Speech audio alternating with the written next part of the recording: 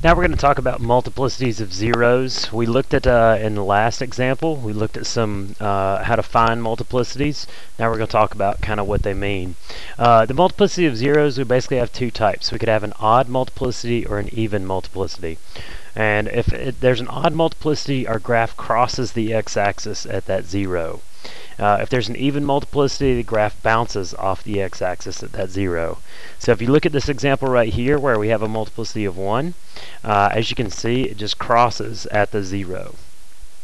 Where an even multiplicity like this one, uh, you can see your graph, it does not cross the x-axis, it bounces. So if it's coming from above the x-axis, it will touch the x-axis and go back up, or if it's coming from below the x-axis, it will come up, touch the x-axis, and then go back down.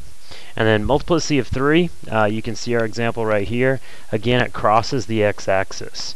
Now, the multiplicity is going to be very similar to the actual function that has that degree. So if you look at the multiplicity of 1, it looks like a linear function.